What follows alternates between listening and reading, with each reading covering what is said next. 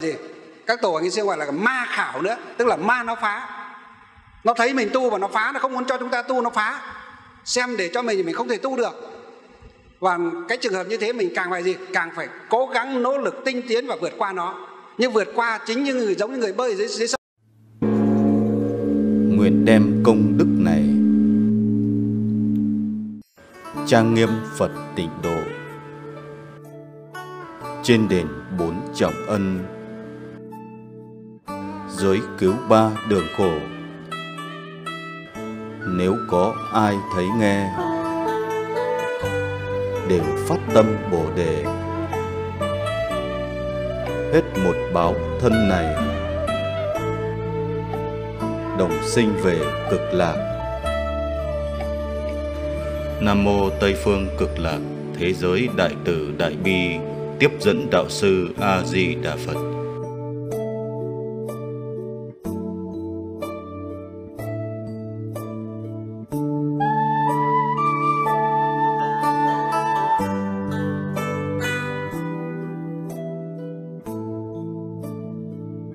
Nguyện tất cả chúng sinh đều tín niệm di đà.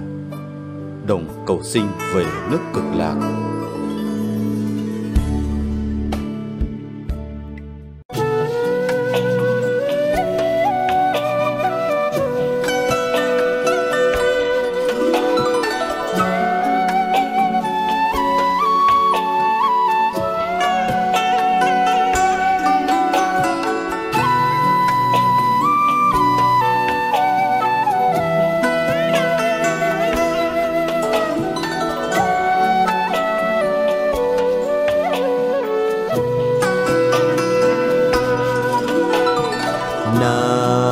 Nam mô A Di Đà Phật. Nam mô A Di Đà Phật. Nam mô A Di Đà Phật. Nam mô A Di Đà Phật.